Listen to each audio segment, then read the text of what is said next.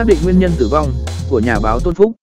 Công an thành phố Hồ Chí Minh thông tin đã trục vớt được xe máy của nhà báo Tôn Phúc và qua trích xuất camera đã xác định nguyên nhân tử vong của nạn nhân.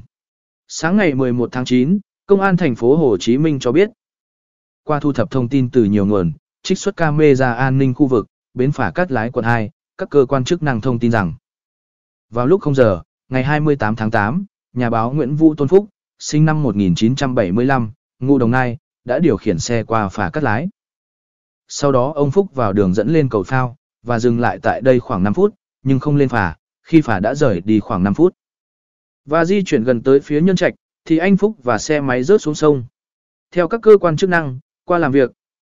Trước khi phà rời bến, thuyền trưởng đã bấm ba hồi chuông, để báo hiệu nhưng không thấy ai lên, thì phà mới di chuyển. Tuy nhiên trên cầu phao cũng không còn ai, nên không ai hay vụ việc. Công an nhận định nguyên nhân nhà báo Phúc tử vong. Được xác định là do quá say xỉn, không quen điều khiển xe lớn và lạ, nên dẫn đến té xuống sông. Vị trí xe máy trục vớt được nằm ở độ sâu hơn 10 mét, và cách cầu phao lên phà khoảng 10 mét. Như báo người lao động đã thông tin, sáng ngày 28 tháng 8, nhân viên bến phà cắt lái quận 2, phát hiện thi thể một người đàn ông, tôi giạt vào khu vực bến phà, nên báo công an.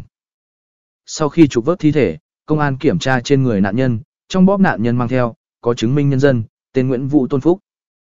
Sinh tháng 5 năm 1975, quê Đồng Nai, và một số giấy tờ như thẻ hội viên. Thẻ nhà báo thể hiện tên đơn vị, là Trung tâm Truyền hình Giáo dục và Pháp luật. Trong một số giấy tờ còn thể hiện, nạn nhân làm việc tại, tạp chí dạy và học ngày nay. Trên tay trái nạn nhân có đeo đồng hồ kim loại màu vàng.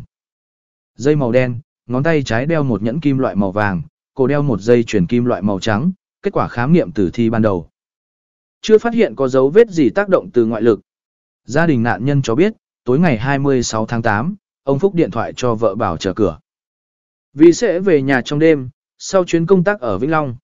Ông Phúc còn nói với vợ, sẽ chạy xe về nhà, nhưng gia đình không thấy ông về. Và đến sáng hôm sau, thì nhận được thông tin.